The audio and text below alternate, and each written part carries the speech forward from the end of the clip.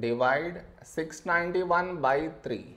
While doing this division, many do this mistake. What is the mistake that they do? I will let you know. But before that, we should frame it in this way 691 and 3 here.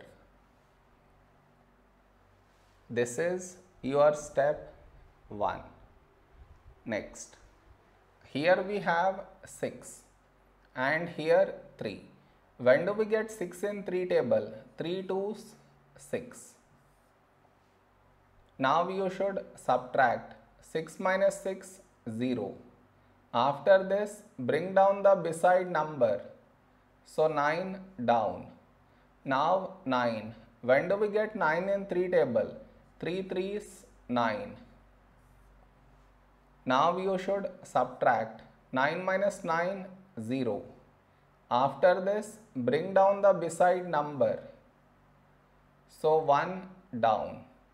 After this step the mistake happens and the mistake is this.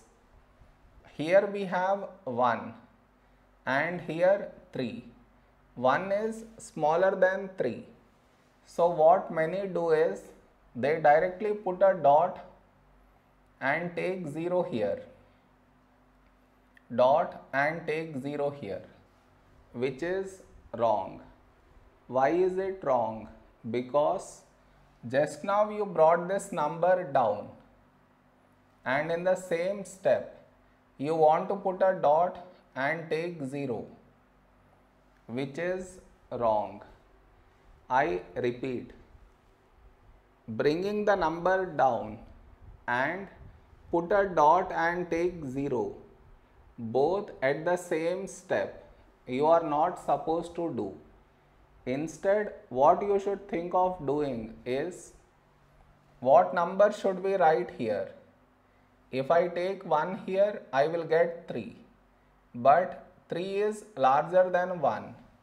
So what we should do is we should take 0. So 3 into 0 0. Now you subtract 1 minus 0 1.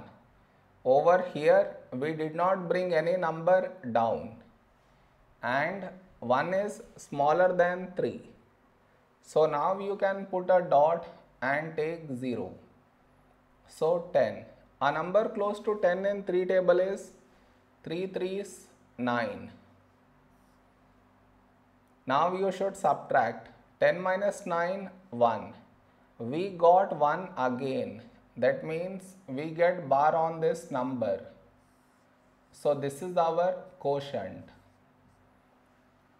Did you understand where the mistake happens? You should not do that mistake.